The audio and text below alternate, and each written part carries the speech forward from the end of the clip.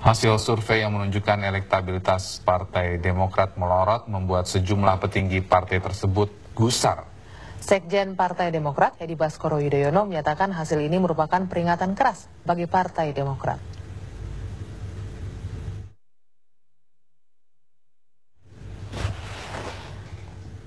Ya, ya Sekjen Partai Demokrat, Hibas mengatakan uh, kader Partai Demokrat diajak untuk introspeksi diri terkait menurunnya elektabilitas partai.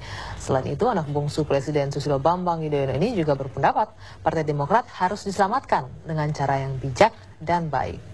Karena menurutnya telah banyak orang yang ikhlas berjuang demi Partai Demokrat.